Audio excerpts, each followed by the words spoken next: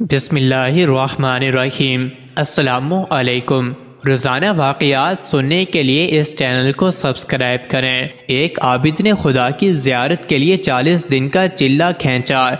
दिन को रोज़ा रखता और रात को क़्याम करता था। एहतिकाफ़ की वजह से खुदा की मखलूक से यकसर कटा हुआ था। उसका सारा वक़्त आहो जारी और राजो न्यास में गुजरता था। छत्तीसवीं रात उस आबिद ने एक आवाज़ सुनी। शाम छः बजे तांबे के बाज़ार में फला तांबा सास की दुकान पर जाओ और खुदा की जियारत करो। आबिद वक़्त मुकर से पहले पहुँच गया और मार्केट की गलियों में तांबा सास की उस दुकान को ढूँढने लगा। वो कहता है, मैंने एक बूढ़ी औरत को देखा जो तांबे की देगची पकड़े हुए थे और हर तांबा सास को उसे वो बेचना चाहती थी। वो जिस तांबा सास को अपनी देगची दिखाती, वो उसे तोलकर कहता, चार रियाल मिलेंगे। वो बुढ़िया कहती छः रियाल में बेचूँगी, पर कोई तांबा सास उसे चार रियाल से ज़्यादा देने को तैयार न था। आखिरकार वो बुढ़िया एक तांबा सास के पास पहुँची। तांबा सास अपने काम में मसरूफ था। बूढ़ी औरत ने कहा, मैं ये बर्तन बेचने के लिए लाई हूँ और मैं इसे छः रियाल में बेचूँगी। क्या आप छः रियाल देंगे? तांबा सास ने पूछा छः रियाल में क्यों? बूढ़ी औरत ने दिल की बात बताते हुए कहा, मेरा बेटा बीमार है। डॉक्टर ने उसके लिए नुस्खा लिखा है, जिसकी कीमत छः रियाल है। तांबा सास ने देगची लेकर कहा हाँ ये देगची बहुत उम्दा और निहायत कीमती है। अगर आप बेचना ही चाहती हैं तो मैं इसे पच्चीस रियाल में ख़रीदूँगा।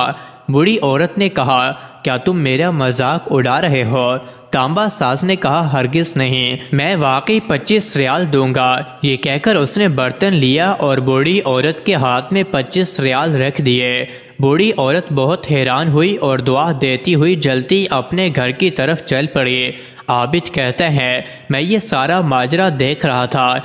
जब वो बूढ़ी औरत चली गई तो मैंने तांबे की दुकान वाले से कहा, चचा, लगता है आपको कारोबार नहीं आता। बाज़ार में कमो पेट सभी तांबे वाले इस देगची को तोलते थे और चार रियाल से ज़्यादा किसी ने इसकी कीमत नहीं लगाई और आपने पच्चीस रियाल में इसे ख़रीदा। बूढ़े तांबा साज ने कहा, मैंने बर्तन नहीं खरीदा है। मैंने तो उसके बच्चे का नुस्खा खरीदने के लिए और एक हफ़्ते तक उसके बच्चे की देखभाल के लिए पैसे दिए हैं। मैंने उसे इसलिए ये कीमत दे के घर का बाकी सामान बेचने की नौबत ना आए। आबिद कहते हैं कि मैं सोच में पड़ गया। इतने चिल्ला। कशी से कोई मेरी जियारत का शर्फ हासिल नहीं कर सकता। गिरते हुओं को थामो गरीब का हाथ पकड़ो। हम खुद तुम्हारी जियारत को आएँगे। हज़रत वासिफ अली वासिफ फरमाते हैं कि चूंटी सुबह से शाम तक मेहनत करती है और उसकी कामयाबी यह है कि खाके रात से रिस्क मिल जाए। गिद की कामयाबी यह है कि उसकी परवास मुर्दार का रास्ता दिखाए। मकड़ी जाला बुनती है कितना खूबसूरत। एक माहिर रियासी दान और इंजीनियर की तरह उसका मकसद कामयाब हो जाता है।